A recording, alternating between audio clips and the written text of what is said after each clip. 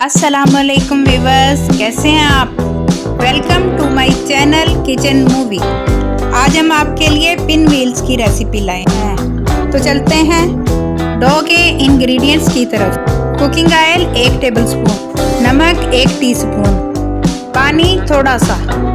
मैदा, एक cup cornflour दो tablespoon अब हम इसमें अपनी सब चीज़ें, मैदा कॉर्नफ्लोर नमक कुकिंग ऑयल सब चीज़ों को ऐड कर लेंगे।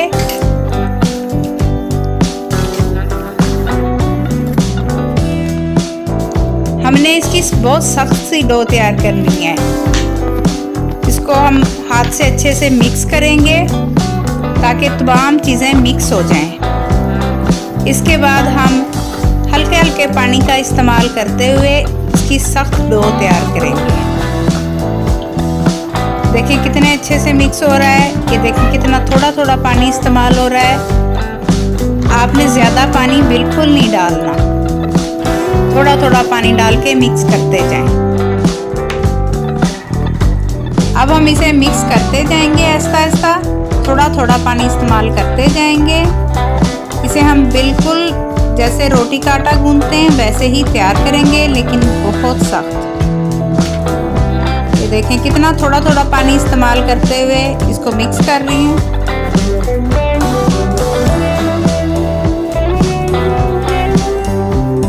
जब हमारी डो सख्त सी तैयार हो जाएगी तो हम इसे अपने हाथ से थोड़ा सा तोड़ेंगे और चेक कर लेंगे इसकी सख्ती को। हमें इतनी सख्त डो तैयार करनी है कि यह बिल्कुल भी हमें ना करना पड़े कुछ। तो अब हम चलते हैं अपने स्टफिंग की तरफ़? आलू एक पाव, धनिया दो खाने के चम्मच, जरदा रंग आधा चाय का चम्मच, आयल दो टेबल स्पून लहसुन अदरक पेस्ट एक टीस्पून नमक एक टीस्पून पानी एक से दो टेबल स्पून हरी मिर्च दो अदद, कुटी लाल मिर्च एक टीस्पून ज़ीरा एक टीस्पून चाट मसाला एक टीस्पून, पिसी लाल मिर्च एक टीस्पून, अजवाइन हाफ़ टी स्पून सबसे पहले हम अपने पैन को गरम करेंगे। अब हम इसमें अपना ऑयल शामिल कर देंगे। ऑयल जब गरम हो जाए तो इसमें ज़ीरा शामिल कर देंगे। अब हम इसमें लहसुन अदरक का पेस्ट शामिल कर देंगे।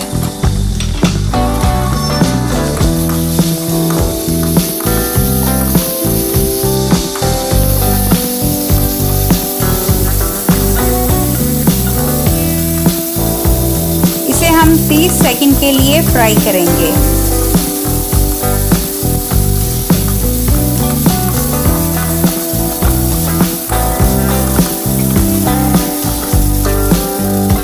खुशबू आने पर अब हम इसमें बाकी अज्जा शामिल करते हैं।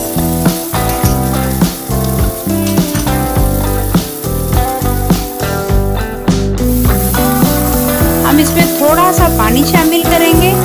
ताकि हमारे मसाले जले नहीं।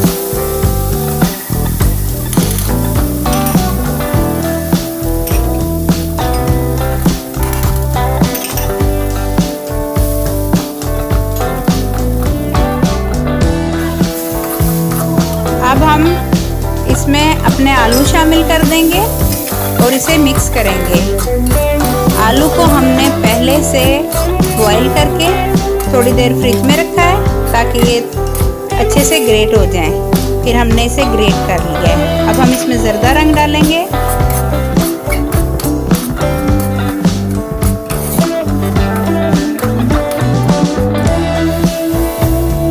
अब हमने इसमें अपना धनिया और सब्ज़ मिर्च को शामिल कर दिया है। अब हम इसे अच्छे से मिक्स कर लेंगे। अब फ्लेम को ऑफ़ करेंगे और इसमें लीमू का रस शामिल करेंगे और इसे मिक्स करके ठंडा होने के लिए रख देंगे। अब 30 मिनट्स हो चुके हैं। हमारी डो तैयार है बिल्कुल। अब हम इस पर थोड़ा सा मज़ीद आयल स्प्रेड करेंगे और इसको ऐसे थोड़ा सा हम रोटी की तरह बना लेंगे। अब हम इसे रोल करेंगे और दरमियान से काटेंगे अब इसे रोटी के पेड़े की तरह बना लेंगे। हम जहाँ पर बेल रहे हैं, वहाँ पे थोड़ा सा आयल डालेंगे। इसे लगा मिक्स करेंगे अच्छे से। और अब हम इसे रोटी की तरह से बेल लेंगे। इससे हम थोड़ी सी मोटी रोटी, जैसे समोसों की होती है। इस तरह से हम इसे बेलते हुए बढ़ाते जाएँगे।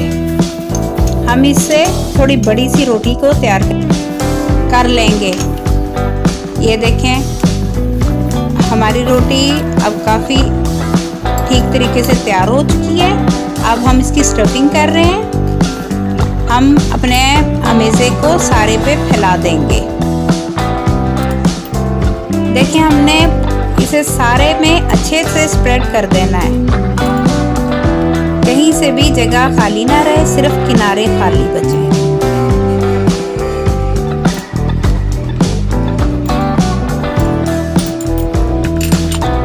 अब ये हमने सारे में स्प्रेड कर दिया है। अब हम इसको बिल्कुल एक जैसा करेंगे। ये देखें, हमने बेलन को आयल लगाकर इसके साथ इसे हल्का हल्का सा रोटी की तरह बेल लेना है। अब हम इसको रोल करेंगे। ये देखें। इसको हम थोड़ा थोड़ा दबाते हुए रोल करेंगे। अब हम अपना पेस्ट तैयार करते हैं। दो चम्मच मैदे में थोड़ा सा पानी डालकर हम इसको पतला सा हमेशा तैयार करेंगे। ये देखें। ये कितना पतला सा हमेशा तैयार हो गया है हमारा। हम साइडों पे स्प्रेड करेंगे ताकि हमारा रोल अच्छे से बंद हो सके। अब हम इसे बंद कर लिए, अब हम इसे हाथ से थोड़ा बढ़ाएँगे। अब इसकी साइडों को हम बंद कर देंगे, ये देखें। अब हम इसे बढ़ाते जाएँगे। अब बिल्कुल एक शार्प नाइफ लेकर उसकी मदद से इसे बराबर बराबर पीसीस में काट लें। ये देखें। ये देखें कितना अच्छा सा तैयार हुआ है हमारा पिंडिल ये देखें। इसकी कटिंग हम बहुत स्लोली करेंगे, वरना ये ख़राब हो जाएगा। ऐसे ही करते हुए हम सारा काट के रख लेंगे। ले, अब ये बिल्कुल तैयार हो गए हैं। अब हम चलते हैं इसे फ्राई करने की तरफ़। अब हमारा आयल गर्म हो गया है। ये जो पेस्ट हमने बनाया था, उसी में हम इसे डिप करके आयल में डालते जाएँगे। ये देखिए। हम ऐसे ही अपने सब पिन बिल्स को फ्राई कर लेंगे।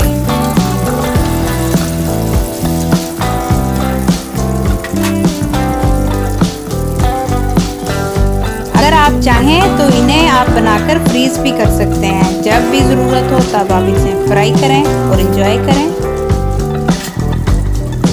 ये देखें, हमारे पिन बिल्स फ्राई हो रहे हैं।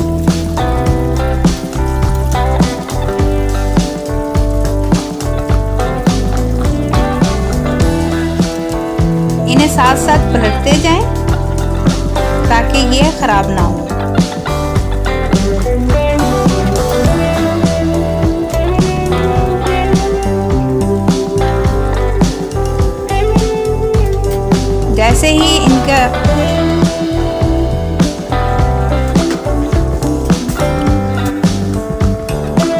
जैसे ये ब्राउन होने शुरू होंगे तो फिर हम इन्हें निकाल लेंगे।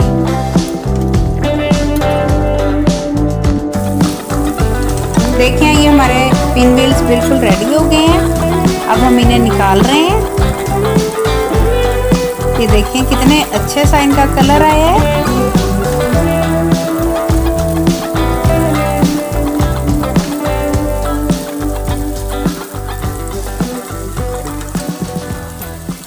ये देखें।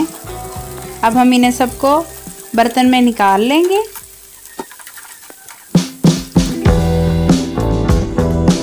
अगर हमारी वीडियो पसंद आई है तो प्लीज़ सब्सक्राइब करें लाइक करें और बेल आइकन के बटन को क्लिक करें, ताकि हमारी हर आने वाली वीडियो आपके पास पहुँच जाए।